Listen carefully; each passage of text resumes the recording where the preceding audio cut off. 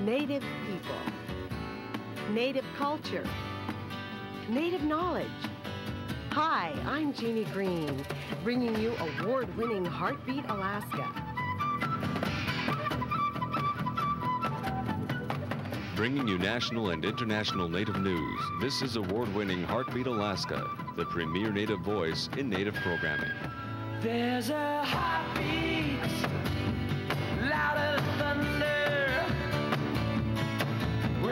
Revolution is in the air. There's a heartbeat deep inside our mother. Are you too cool to? Now, with Heartbeat Alaska, here's Jeanie Greene. Hello, everyone, and welcome to Heartbeat Alaska, Native News and Native Information. I'm Jeanie Greene. This time of year, the eye of the world is on Alaska because of our famous Iditarod race. Well, there are races in other parts of the state at this time of year as well.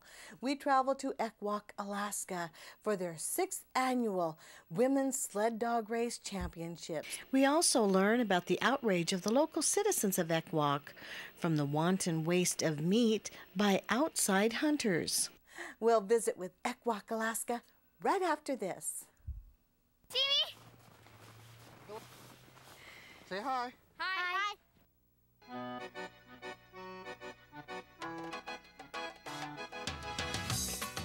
BP is proud to sponsor Heartbeat Alaska. BP, going the extra mile. by the Nature Conservancy of Alaska, working with Alaska's rural communities to conserve and protect our natural heritage. Heartbeat Alaska thanks Wave Wholesale Company, your one stop supply source for village retail stores, food service customers, and government agencies. Welcome aboard, Wave.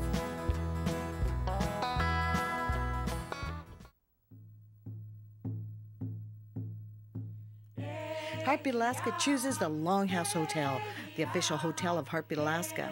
And this is where we choose to house our guests that come from all over the world to spend time with us. And this is where we hope you will choose to spend your time when you come to Anchorage. Choose the Longhouse Hotel, the official hotel of Heartbeat Alaska.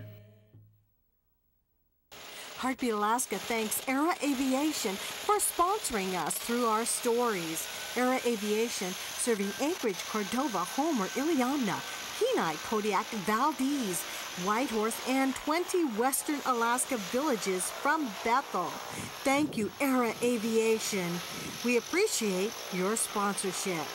Visit Era Aviation at www.eraaviation.com. This time of year, the focus of the world is on Alaska because of our famous Iditarod race. However, there are other races taking place in parts of the state. One of those races is in Ekwok, Alaska. Going out was really good. It was uh, really easy, but coming back in was uh, was uh, really tense. Meeting other mushers. Um, I thought it was going to be a good, clean run. Uh, when I ran into other mushers, I got all tightened up and I was uh, nervous. Debbie Weedman is one of 17 female athletes who gathered for the sixth year in a row to compete in the grueling sport of dog mushing. The sixth annual Women's Sled Dog Championship race attracted mushers from surrounding villages to Ekwok, Alaska. That's good.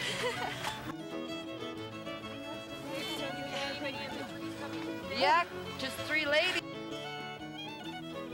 Please. You almost passed her right here. I, I, I could have passed her back there two or three times.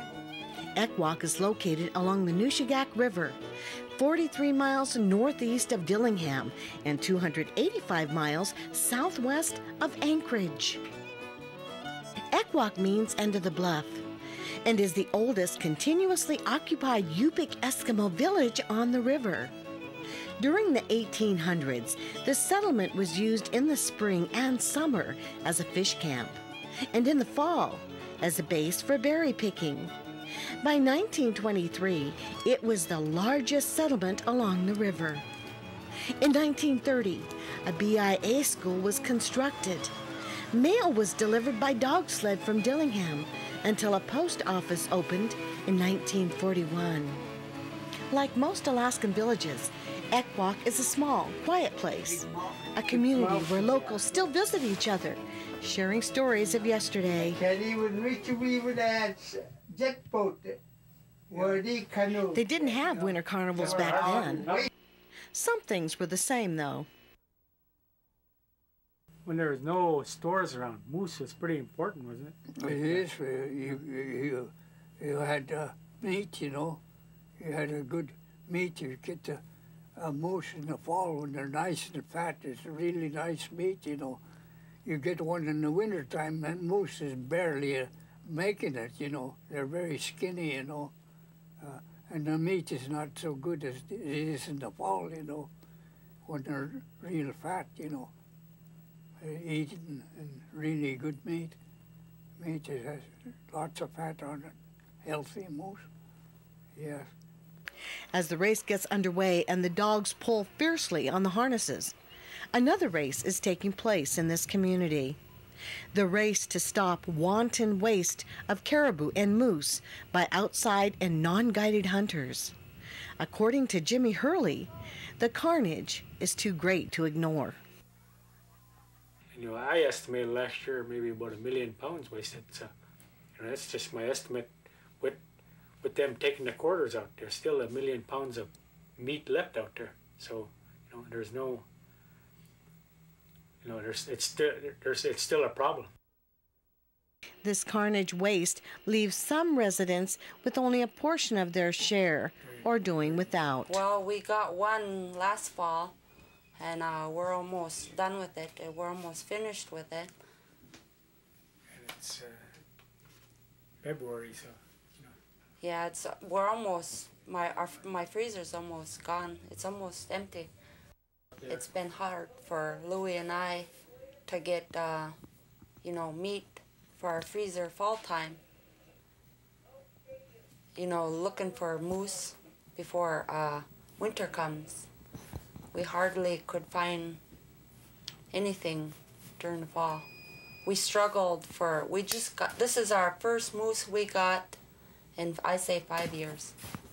So I think that uh, non-residents, uh, hunters, should give the uh, village people the meat, especially our elders. More our elders than um, we uh, at home. We think of our elders more Well, some of them just hunt for the hunt hunt for the horns. That's all. They they can't eat the horns. People can't eat the horns. They want the meat, and they all want the bones. They said, uh, "Leave the bones." Well, now uh, with the bones, you could get the bones there, and you could make soup putting there all winter out of it. And when I went hunting with a native, by golly, they even saved the blood. They even saved the blood on the moose, you know. They'd take a cup and save the blood even. Made soup out of it or something, you know.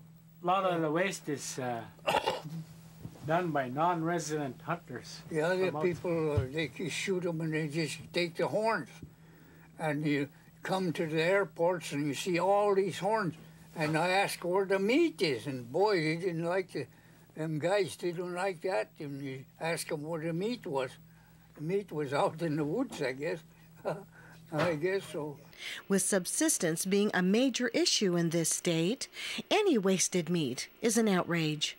Then I went up there for uh, where they always camp. Uh, then uh, I stopped there and make tea. I was there in uh, half hour to try to make my tea get hot. Uh, when I have a smell something and uh, I walk around. I walk around behind that, that Lots of meat in the waste inside the brush. Really moldy, really fat. Just, just have no head. No horns, nothing is. Never even uh, take the meat off and the waste them on for those. A few years ago, we had a lot of this waste of caribou, and uh, I brought it before our committee, and this uh, we put in regulations that uh, that everybody getting caribou had to take from from the field four quarters of the caribou. There was so much waste left out there, and uh, it came out of our advisory committee, and I'm the guy who brought this up, uh, and uh, it took a lot of lot of time and effort to uh, get this passed. You know, I think uh, with other people with other with help from other people, but uh, want waste issue was so bad at that time that uh, there could have been more done, but it's not. Uh, you know, it's not. There's something on the books now that says you know there's. It was a real big issue. You know. I know you're not officially a biologist, and uh, you might not be able to give the scientific figure. And uh, but how long do you think it would take to get the herds back up to the level where the village is the residents in this village, or residents in any village? Oh, the caribou herd is really grown, really lots. With with the growth and more hunters coming in, there's more waste. In the 19, 1980, 1989, uh, you know, it, this uh, subject was brought before a gathering, and we talked about it. Uh, but uh, they told us that we got to be able to have some kind of a VCR or a film of what was happening and show proof that we got to we see this being done. But as a uh, resident hunter and the Nushagak and the Mulchatna, there is a wanton waste uh, issue that has affected and been, uh, you know, uh, and was going on for for the last uh, almost 30, 40 years, and nothing has been done about it, and nothing has been, you know, it it, it has been talked about, and uh, but it's not not uh, not really taken care of, and uh, you know the outside hunters they come to an area and uh, and they'll uh, hunt a moose or a caribou, and sometimes the season is uh, damp and wet, and they will uh, don't know uh, uh, how long the meat will uh, will be able to keep, and uh, they'll get rid of it. And uh, but uh, you know, it's just uh, it has been uh, affected our area in, in the last 30 to 40 years, and uh, we have done uh, you know the talking, but. Uh, Nothing has uh, has been done, but uh, I've seen, I saw seen, I waste. seen waste, a lot of waste. It's it's terrible, cause uh, you know that could be food for uh, maybe my family, or my grandma's family, my uncle. Uh, it's just just sad to see you know good meat like that go to waste. And you know that's our everyday. Um, that's our food. where- so you know what you're doing, what what how to take the meat out, rather than doing a going on a ten day float trip. You turn around and uh, you get the moose the first day. You're going to be floating with that meat for eight days, and going to be very good by the time you get there if you don't know how to preserve it, especially non-residents. You know. They should be guided by you know that that should be in regulation. I would really stress to all the other villages to step up to the plate and uh, get resolutions to the, their legislators. Don't go away. There's more Heartbeat Alaska right after this.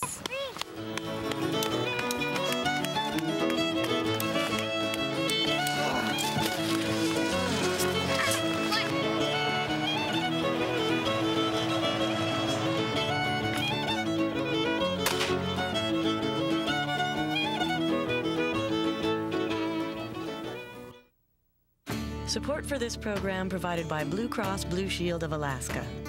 We've been here since before Alaska was a state, and we'll be here when you need us. we're here. We're with you. Blue Cross Blue Shield of Alaska. This program sponsored in part by Phillips Alaska. Dreamers who make it happen.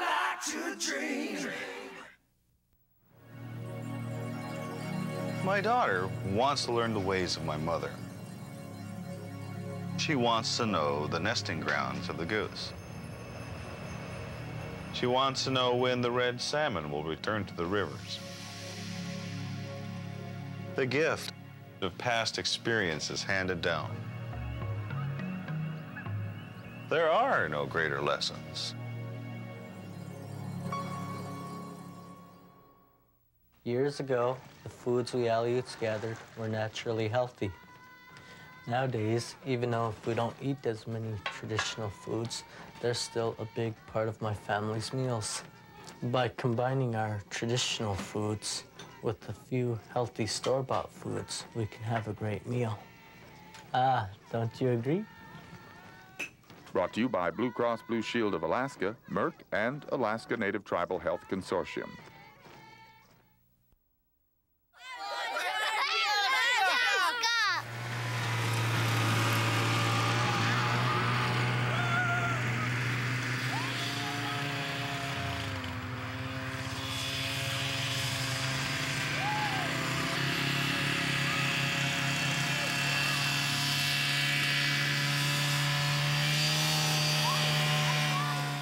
The Ekwok Carnival is an exciting event for many people in this area.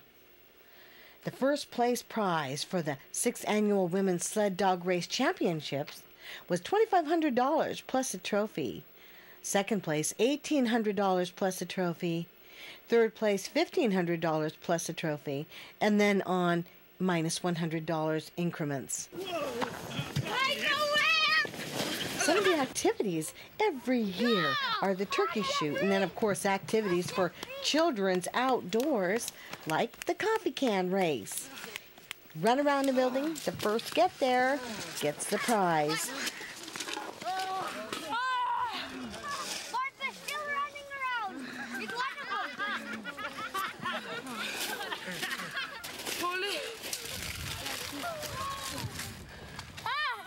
Junk. Hi.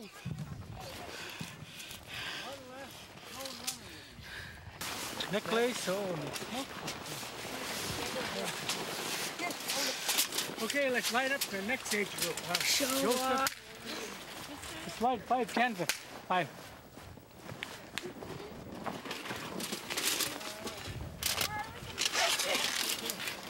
Who's on? All right. Give me your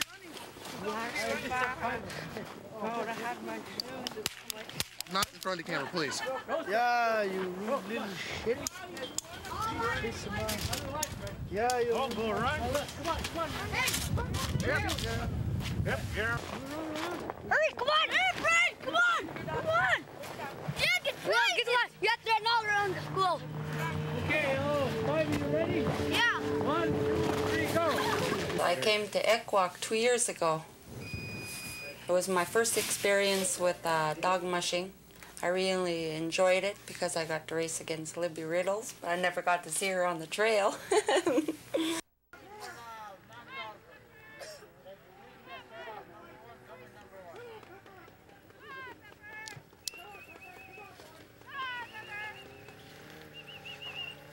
Well, now I'm actually here to see you win.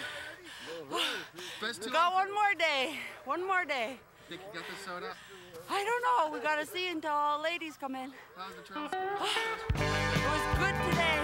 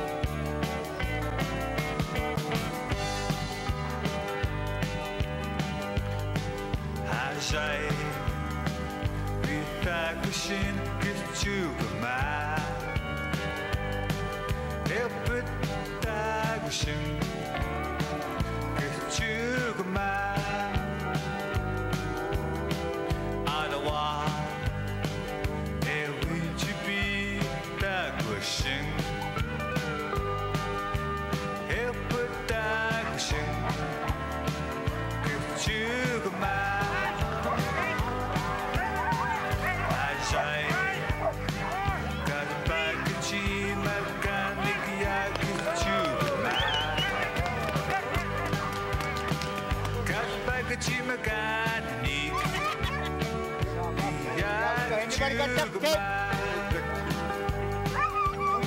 tape? One minute. Okay. Oh, you got tape? You want, uh, yeah, you could spare. Spare tape. We need to fix this here.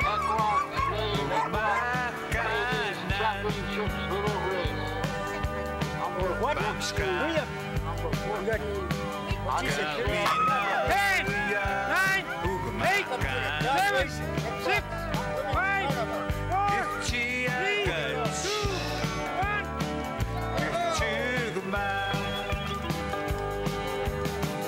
Как чувава мак чугма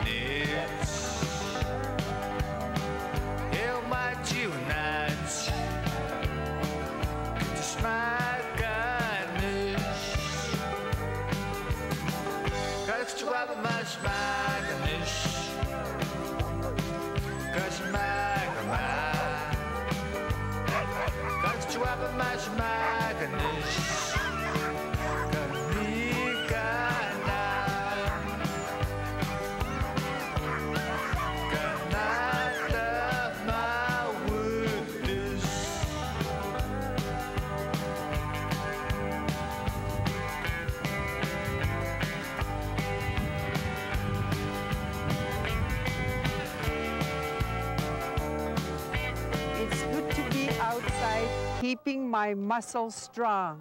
Being active is healthy, whatever your age. After all, honest can still pick berries. Sometimes better than granddaughters. Keep busy. Exercise like me. Kiki, you do it. Brought to you by Blue Cross Blue Shield of Alaska, Merck, and Alaska Native Tribal Health Consortium.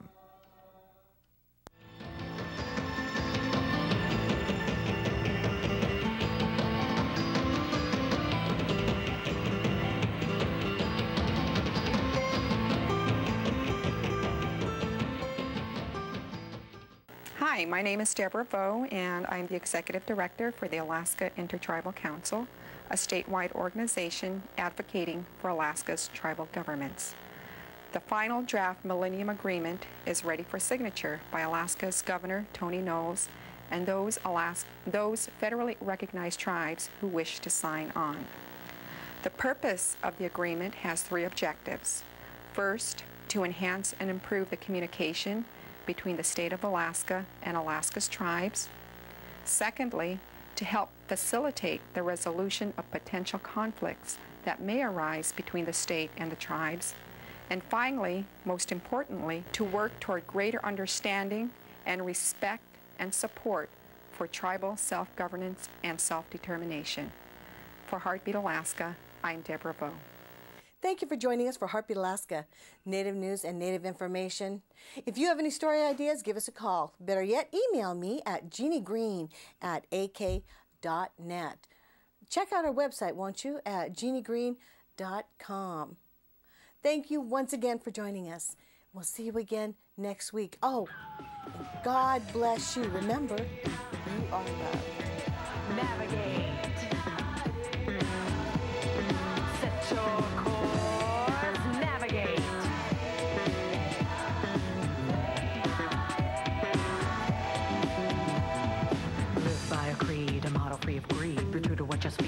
Last Mohican in real life. Love your wife. my neighbor. Do yourself the favor when the words fall down. You're looking like a clown. Ain't no one gonna say that they'll take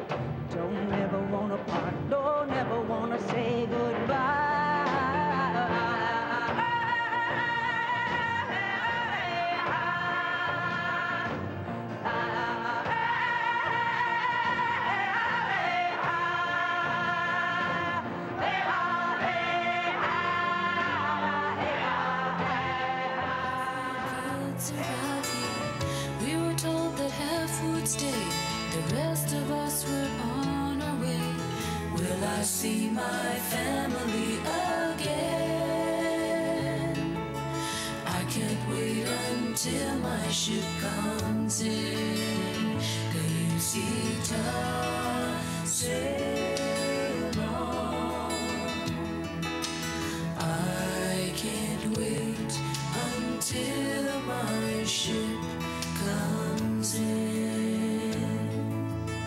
Our final destination